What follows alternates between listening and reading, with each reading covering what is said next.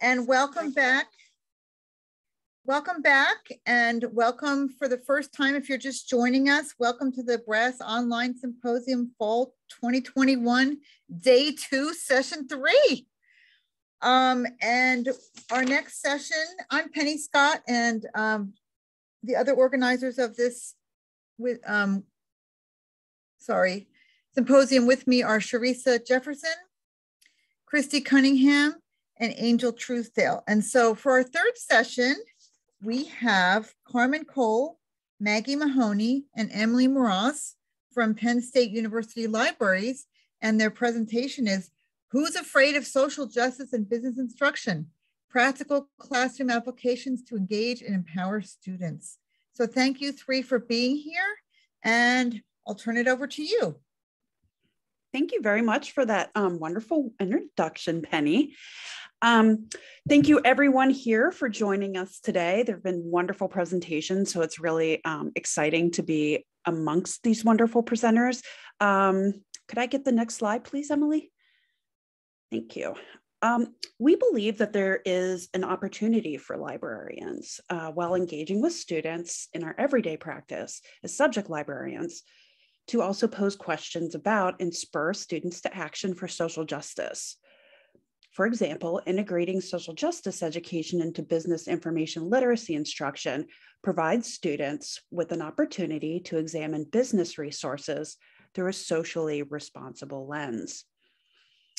Author Robert Fraser notes that social justice work addresses inequality and oppression in all its nuances, including but not limited to racism and xenophobia, classism and economic discrimination, sexism and misogyny, homophobia and heterosexism, religious and political persecution, the abuse of civil liberties, and ableism.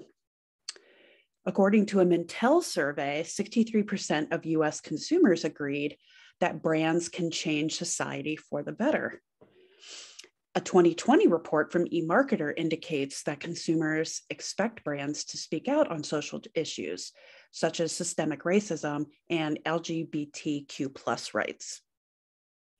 Also, Standard 9 in the AACSB Guiding Principles and Standards for Business School Accreditation emphasizes engagement and societal impact.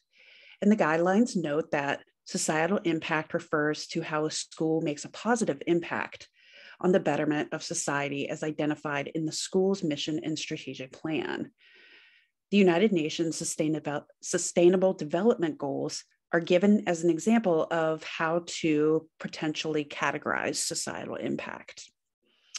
At Penn State, business students are introduced early on in their business education to the concept of corporate social responsibility, and librarians often assist with finding CSR or ESG reports. Okay, so uh, for our opening activity, um, we're going to have you all try the browser-based tool Padlet if you're not already familiar. So Padlet is free up to a certain point and acts like a virtual pinboard or corkboard. We'll have you all try it out by answering the following prompts on the Padlet where you created for this session.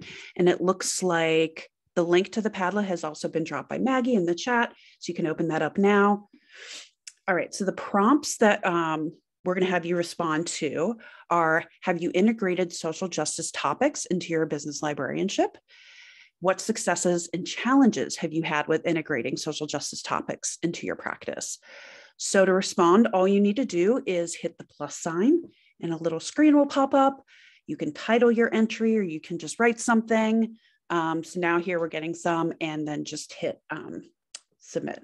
So, everything is anonymous, as you can see.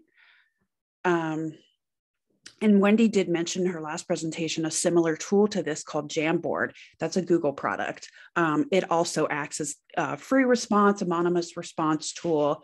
It's a good alternative to Padlet. Okay, so we'll wait for some responses to come in. Okay, so someone says they haven't had an opportunity to do that yet. They are, or someone else is like, uh, we're using search examples related to social justice issues in class and activities. Um, someone says minimally. I was cautioned against it. That's interesting. Um, let's see. So some successes and challenges that are popping up now. Um, yes, making sure to select examples that don't re-traumatize marginalized groups. Um, so somebody used an example from Safiya Noble's work on algorithmic oppression, and a student mentioned it was very upsetting. Um, so we do have to be careful and meaningful in our practice in that way. Um, conservative faculty may be a barrier. Uh, another challenge is making sure we've had the right resources to support those type of questions. Absolutely. And yes, there has been um, some legislation, some bills, depending on your state, um, that may make it difficult to speak about these matters in the classroom. So that's definitely something to be cognizant of. Emily, are you seeing anything else that you would like to mention? Um, so I see uh, that people use examples of Black-owned businesses, um, marketing mental health services on campus, uh, information privilege, which yeah, is a really important topic. And we tried to handle that at Penn State. I don't know how much we directly deal with that in our business instruction. We do talk about it a lot with our um, undergraduate research exhibition. That's one of the criteria that the students need to talk about. But uh, thinking about Wendy's presentation earlier, um, information having value, and our students have access, as many of yours do, to Mintel reports and things like that, where if your school can't afford to pay for those databases, we definitely have information privilege that other would not. Yeah. Um, so someone's having a lot of success. They are having a faculty, they have a faculty member that is willing and supportive of approaching subjects. Um, that's really good for making some inroads, hopefully in the entire college or department. Um, students have challenged them as woke and were against any type of rhetoric of that type. Okay. Right, so thank you so much for the engagement there, everyone. You got to try out the great tool if you weren't already familiar with it before.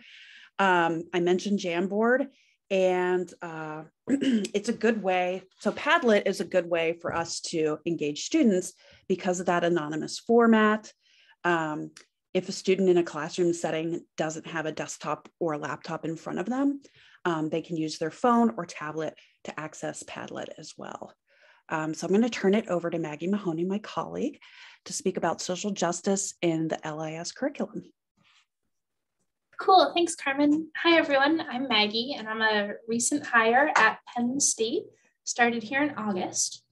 And as we begin our discussion of social justice in business librarianship, I wanted to provide an overview of current trends in library science curriculum and how they influence the next generation of librarians. These perspectives are informed by my experience as a student in a library science program that prioritizes social justice in the curriculum, as a recent graduate of library school, and as a recent job seeker. In our introduction, we discussed how the AACSB guiding principles and standards for business school accreditation emphasize engagement and societal impact.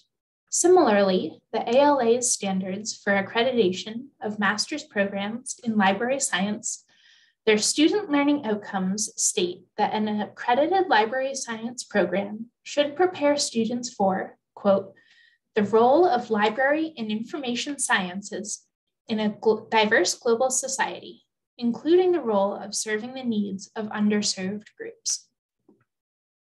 At the University of Washington, where I completed my library science degree, social justice is emphasized throughout the curriculum.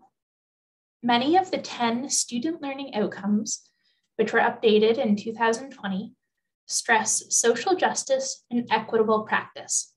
For example, learning outcome number five states, quote, value and incorporate global perspectives on effective information practices that are supportive of cultural, economic, educational, and social well-being, including non-Western ways of knowing. As is usually the case, the quality of social justice integration varied across courses and by instructor.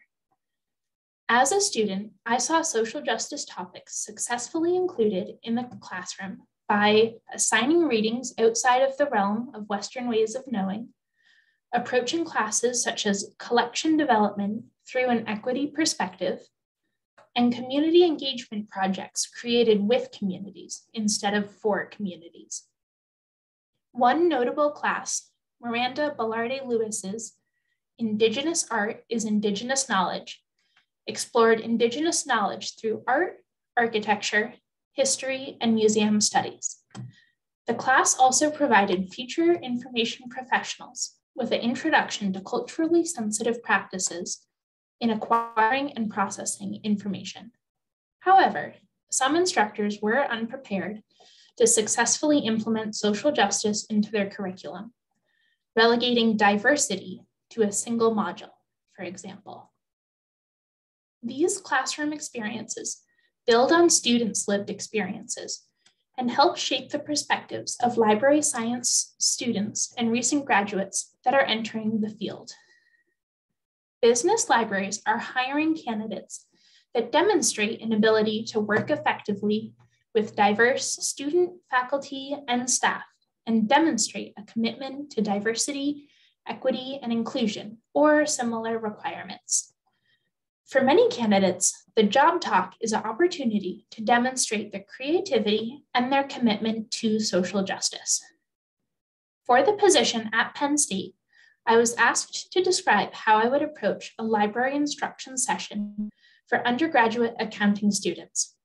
Part of the prompt asked me to showcase resources that students might find useful in conducting research. For this prompt, I created a library instruction class for the PSU class BA 342, Socially Responsible, Sustainable, and Ethical Business Practice. I chose this class because it's a required course for accounting majors and it aligns with my own interest in sustainable enterprise and corporate social responsibility.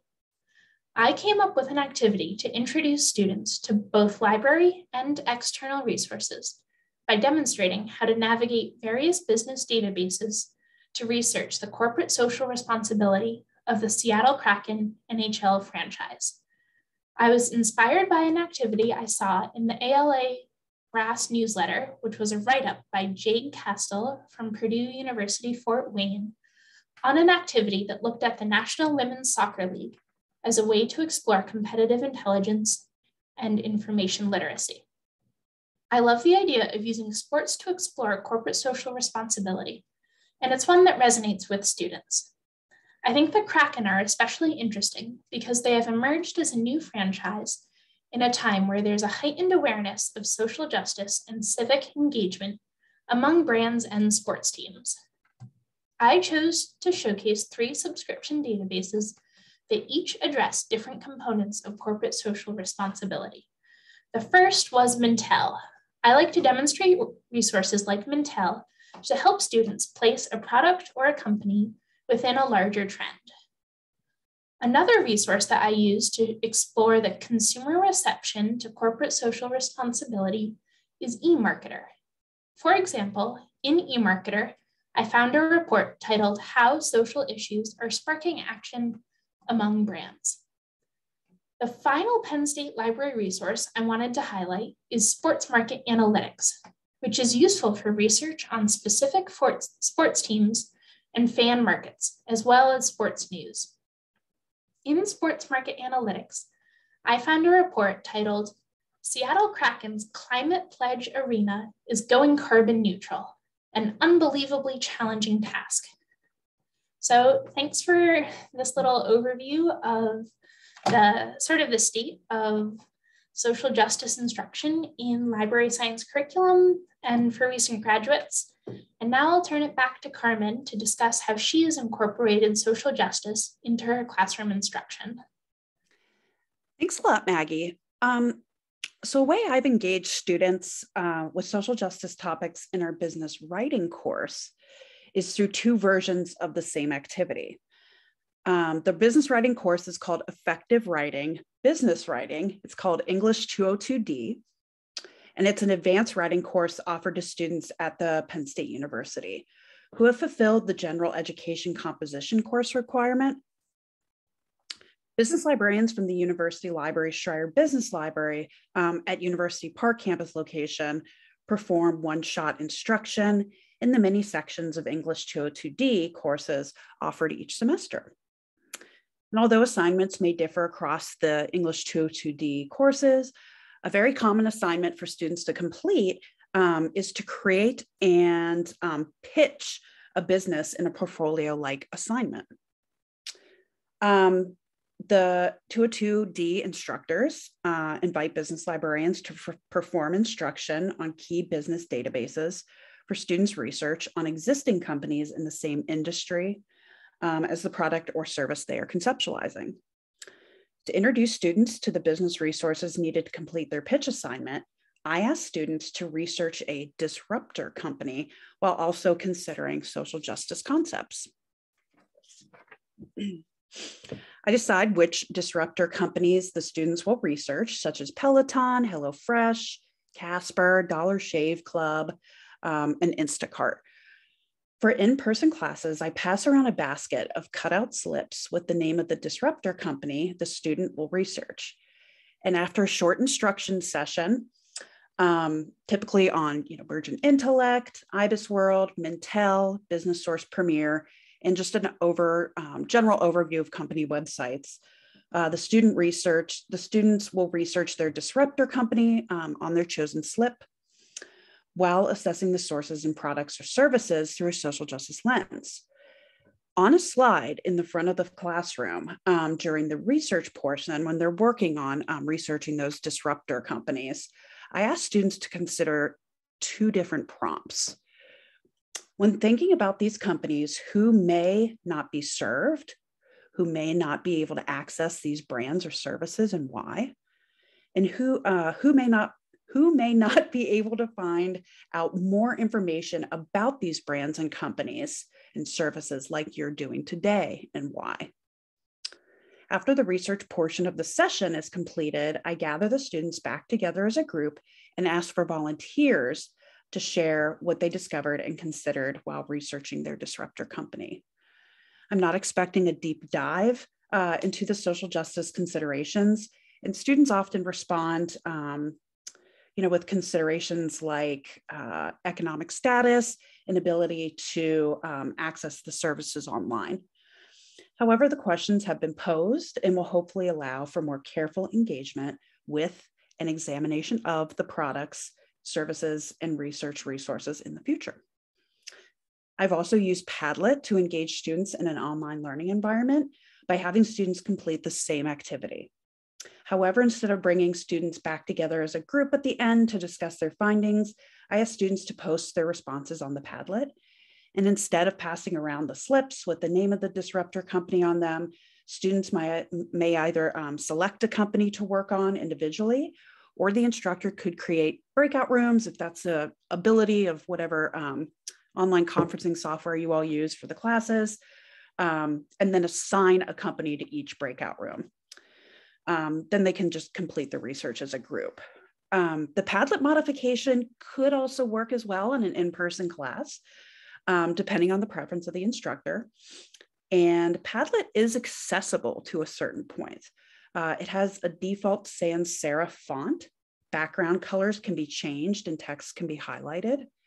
And it does work well with a screen reader as navigation is possible and its content can be read out.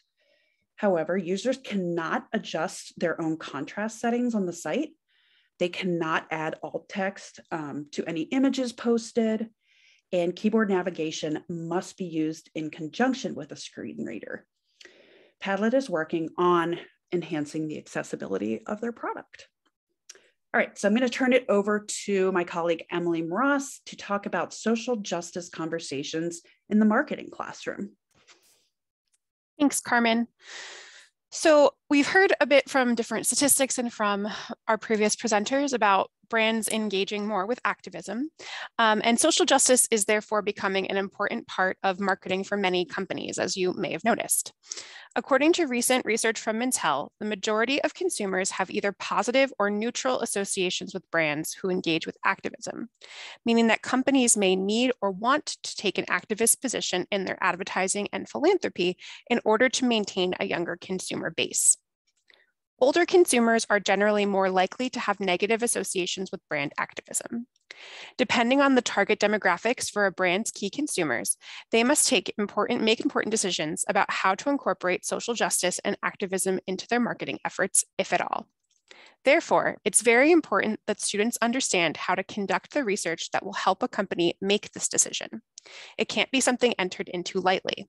Marketers must examine all sides and present the possible scenarios for engaging in or abstaining from brand activism. This is a great way to structure these conversations if you feel that there may be pushback from faculty or students, though in my experience, I have not encountered any pushback to um, incorporating these topics in my classroom. Faculty buy-in for social justice topics doesn't have to be hard to build. I realize depending on your state, that may be a little bit more challenging, um, but there's ways that I think we can think about this and incorporate it in a way that hopefully shouldn't raise anyone's uh, hackles. A marketing professor that I often work with prefers to use hands-on real-world projects to give students experience thinking through a work situation like they would uh, during an internship or in their future careers. He also often picks examples that are in the news, which students may read about in their various um, readings in the New York Times, the Wall Street Journal, or on social media. When I had to transform my instruction to remote synchronous during the pandemic, I wanted to get creative in walking students through researching a marketing situation. And I found a great real world example that gave students an opportunity to engage with current marketing scenarios. As I'm sure you've noticed, a number of brands have become more activists in their promotions and sponsorship decisions in the last few years, reaching a peak in the summer of 2020 following the murder of George Floyd. Last academic year, the Sunday before I met with the professor's introduction to marketing class was the Super Bowl. During the game, the NFL ran an ad called Inspire Change, documenting its efforts to combat systemic racism in the United States and highlighting the league's $250 million commitment to making inroads for diversity, equity, and inclusion. I decided to use this ad as the basis for research and discussion from a marketing perspective on the role of activism in advertising, adapting a case study from a previous edition of the class's textbook to serve as a starting point for research and discussion. On this slide, you'll find the scenario I used as the basis for our in-class research and discussion, which I presented to students in a Google Doc. So if you were here for uh, Morgan and Summer's session, I did it very similarly to how they used the Google Doc in the class. Google Doc is great for collaborating in a remote environment. Before the class, I set up my document with content and questions and then allow anonymous editing. Throughout our session, students respond to prompts directly in the document. And if you've taught via Zoom, you probably understand that it can be really isolating. Students may not want or may not want to be or may not be able to turn on their cameras or use their microphones for a number of reasons. And the chat feature in Zoom is not very interactive. And I'm the one that's screen sharing right now. So I see that there are some chats there and I can't read them because I'm screen sharing. so you may have run into that problem yourself. In the Google Doc, we can see everyone who's writing and we can interact with them via what they type. I think that this brings connection to a remote environment and it helps keep students engaged because they can't become passive and tune out like they might during a lecture. And as um, Carmen mentioned for Padlet, uh, using Google Docs gives the students who may need some accessibility features a little bit of flexibility to use a screen reader, change the size of the font, things like that. Um, earlier in our remote learning period, I found that many people were frustrated because students were not using those interactive features of Zoom not turning on their camera or wouldn't leave it on for the whole class, um, and students would not use their microphones. So there's many reasons that students might uh, feel this way. We know that it's exhausting to be on Zoom all day, and they might want to protect their mental health or their energy by limiting camera and microphone use, or they could live in an unstable or an unsafe environment and they don't want to show that location to others via a camera. Um, as our own presenters are experiencing today, you may not have strong and reliable internet that's needed to support a video feed. And everyone wants to feel um, safe and maintain their privacy and not feel surveilled. So for all of those reasons, uh, it was important to find another way to communicate and connect as an issue of equity for my students. So this is actually a little social justice uh, stance of my own beyond the topic. Further, the anonymity provided by the Google Doc, as I don't require my students to log into their accounts, can allow freedom to share things that students may not be comfortable saying out loud. It can be difficult to take a contrary position in front of your peers or to share something that's very personal. By typing it in the document without a name attached, students can feel a little safer sharing their honest opinions. And so I'm speaking mostly about doing this in a remote environment, but using Google Docs can also be really helpful in an in-person setting where students might be hesitant to raise their hand, speak out loud, and again, share those contrary posi positions to the rest of their classmates. So these are the discussion questions that we used in the class. Um, and I asked them to research them and respond to them by providing evidence that they found in their databases. For each question, I recommended resources that they should search for the topic. Students then became more familiar with the databases they would be expected to use throughout the semester by researching the prompts, and they learned what kind of information is available in each database that we used. They researched reporting on the NFL, as well as the demographics of the teams and their fans, which is something they would need to do for any marketing project. I like that we were having an important conversation about a social justice issue while also learning the basics of researching within the discipline. I work with a variety of business classes, and while some of the courses encourage students to take a critical look at the environment of business, many of those are electives, and students are often working on individual projects that deal with a specific issue of personal interest rather than having large discussions about social issues. I chose this topic because it wasn't simple. When I work with classes, I always try to pick a demonstration topic that has a critical aspect to it because I find those make for better discussions than something very basic or straightforward. In this case, students did not have to have individual topics or projects to work on yet. So I wanted to use something that was broad and engaging that they'd likely at least heard of previously, even if they hadn't researched the topic too much. And everyone probably had a personal opinion on whether or not they thought that uh, the NFL should be engaging in activism this way. So, as I mentioned earlier, brand activism and alignment with specific politics is becoming very commonplace. As marketing professionals, these students may be expected to navigate similar situations for their employer or for a client. The instructor recommended I take a look at the case studies in their textbook for an example to work on. I found an older example that asked the students to evaluate a volunteer campaign for the United Way that was promoted by the NFL. Prior to last summer, the NFL was pushed towards more conversations on racism and police brutality by Colin Kaepernick's kneeling protests during the national anthem and his later ostracization by the league. The role of race in sports has become a common, though controversial, discussion point. Another inescapable reality of professional sports is that they are a business and are managed as such. Given the activism that individual players and now the league were showing, I felt that students would have a lot to say about the marketing aspects of these decisions, and they did. so moving forward, we'd like to share, we did share many ideas today about how we incorporate social justice topics into business instruction in natural ways that complement course content and business competencies that students need to learn. You now might be wondering, how do I get started with this myself? The simplest answer is to just get started. Take a look at your common instruction and identify one lesson that could be slightly tweaked to include a social justice topic. If you typically take topics from students off the fly, one adjustment might be to use an example topic first that incorporates a social justice theme. If you're not sure which topics might work best, it's always a great idea to consult with the course faculty about the key themes of the course. Social justice topics are probably already included, but they might not be very obvious you might want to start by asking what ethical concepts or topics are discussed in the course, as these can generally be related to social justice. And if we're thinking about the AACSB standards, there should be business ethics topics baked into every course. Beyond instruction, it's important to evaluate our collections as well to ensure good representation of historically marginalized voices. This can also apply in the classroom by accepting resources that are not only scholarly peer-reviewed articles, as Summer and Morgan mentioned.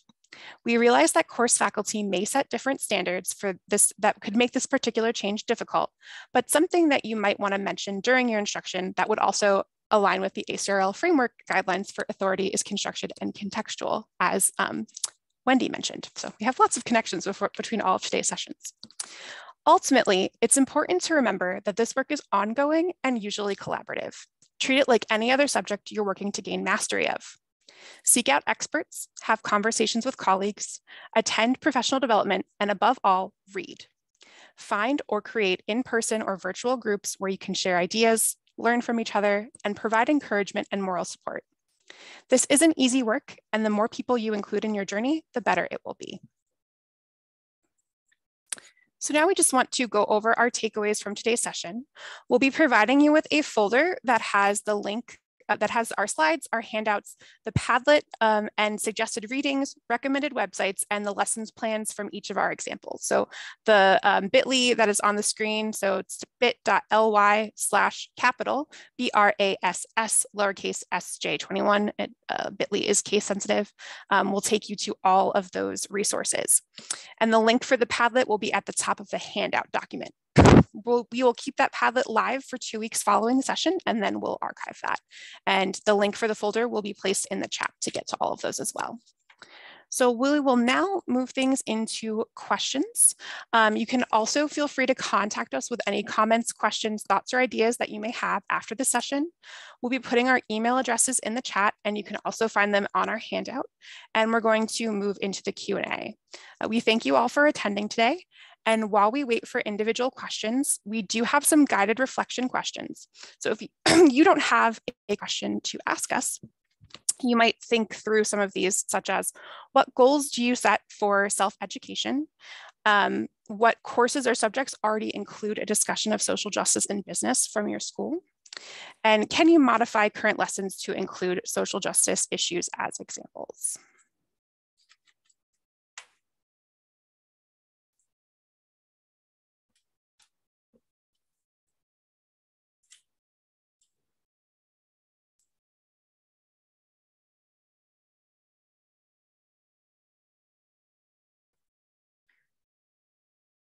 Thank you, Maggie, Carmen, and Emily. Um, I'm happy to moderate if there are any questions. Of course, people can just unmute also. I'm I am monitoring the chat right now. And I had a question if you had the reflection questions typed up somewhere. So I thought, because I thought they were very interesting. We oh, did, but there we go. There we go. Thanks, Carmen. Yay. I thought I had a slide with them, but they don't appear to be there. Thank you. Thank you, Maggie.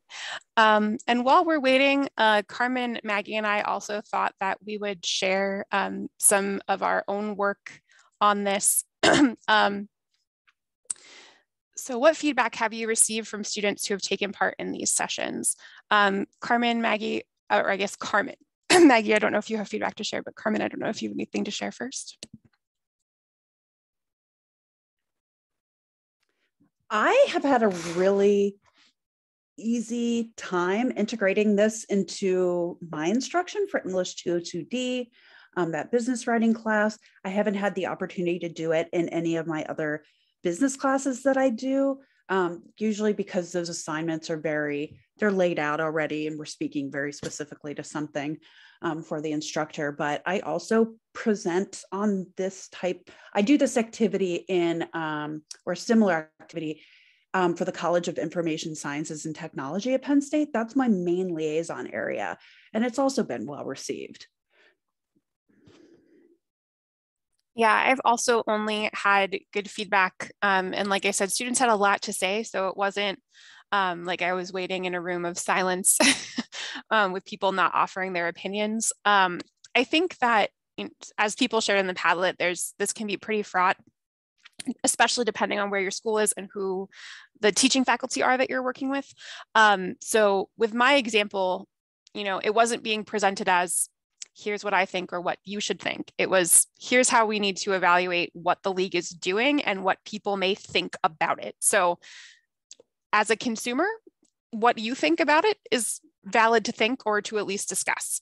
Um, so I think that that helps in not necessarily leading students into one particular direction and framing it as this is a business decision. Um, and so we need to look at the different aspects of who we're going to um, bring into our you know, consumer pool with this and who we might alienate from our consumer pool with this kind of action.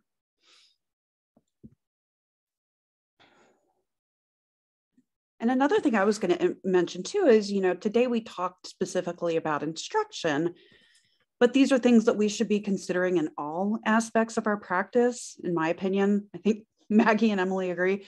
But, you know, are we representing um, historically minoritized populations in our collections? Are we doing so in our research consultations? Are we simply, you know, referring them to the same sources that are paywalled, you know, perhaps written by um, a certain majority population over and over again? Um, so it's kind of starting to lessen our reliance on those type of things.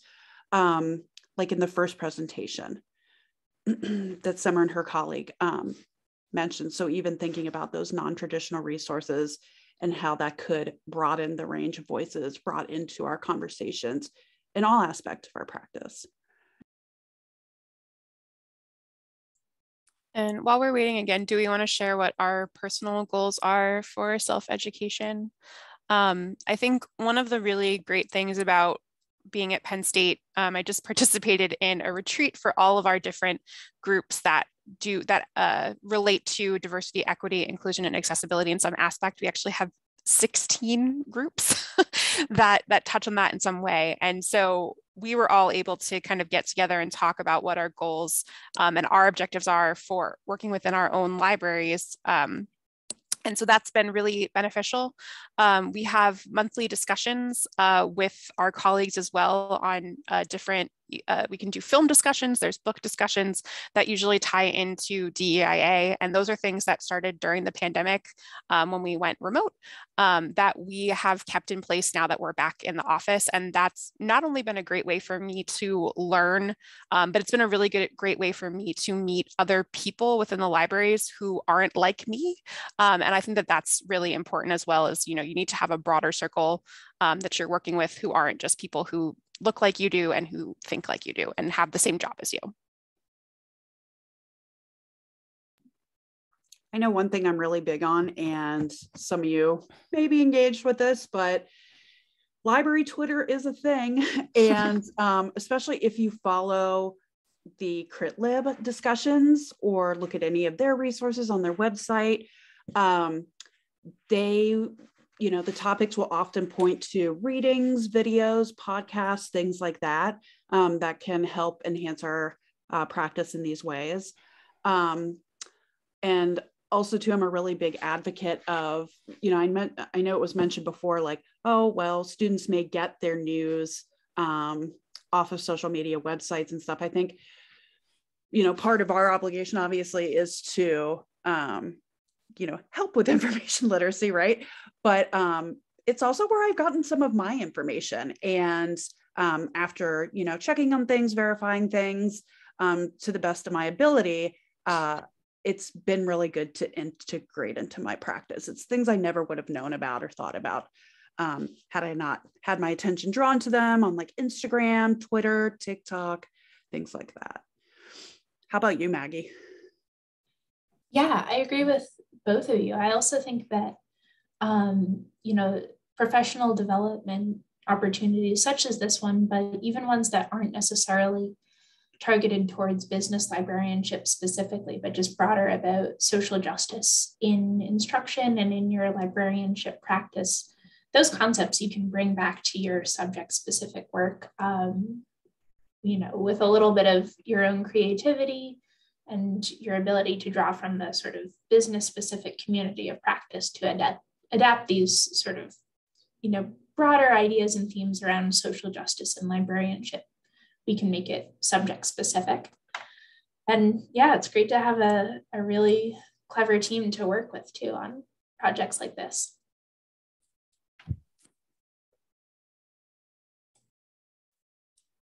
So we have another six minutes for any questions that people might have, or we can keep. Uh, and we also welcome anyone to share their thoughts on um, any of the reflection questions in the chat as well. You can feel free to use your microphone.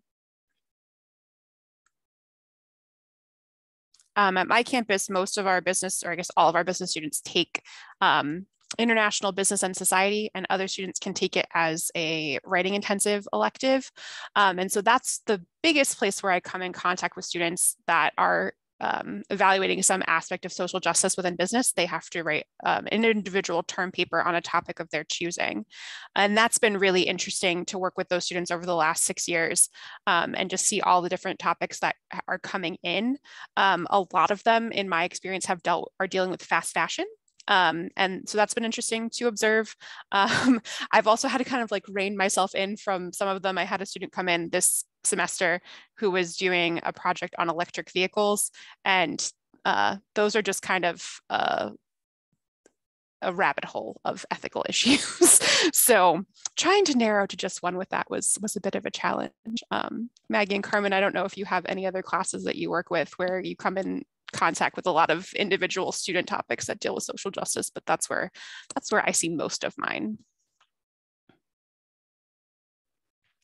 Um, the University Park campus location, the class that the business library is embedded in, it's called Management 301. It's the mm-hmm. entrance to major class um, at the Smeal College of Business. And we work on with them on a um, company information assignment.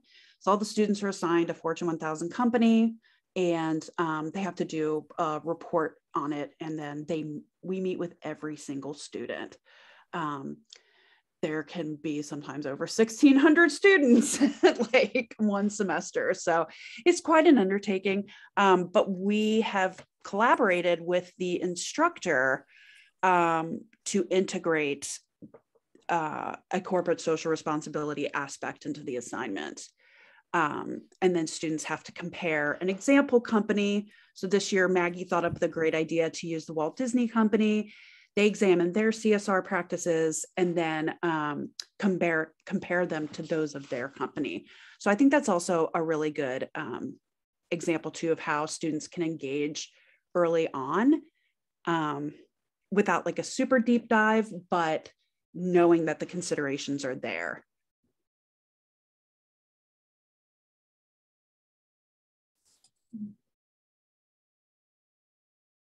Okay, so we have someone asking Does anyone care to share any of their favorite social media accounts for CritLib, social justice library stuff? Uh, there's a good TikTok account. Thank you. From I know this TikTok account um, from the Indigenous perspective. Um, and we can also amend our handout. I'm happy to drop some um, Instagram and Twitter handles um, and whatnot. Carmen is much more involved in this space than I am. I usually see what she shares.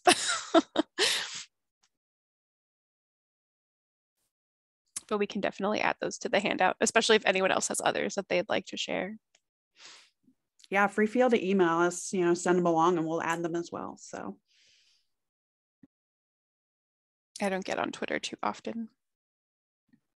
I'm very on Twitter, so um are there any questions before we end the day? I don't think I see anything else. Penny, do you have anything? I don't see anything else. So, um, and of course, the great news is that the conversation doesn't have to end because um, everyone can contact you. And first, I want to say thank you so much, Maggie, Carmen, and Emily, for your session.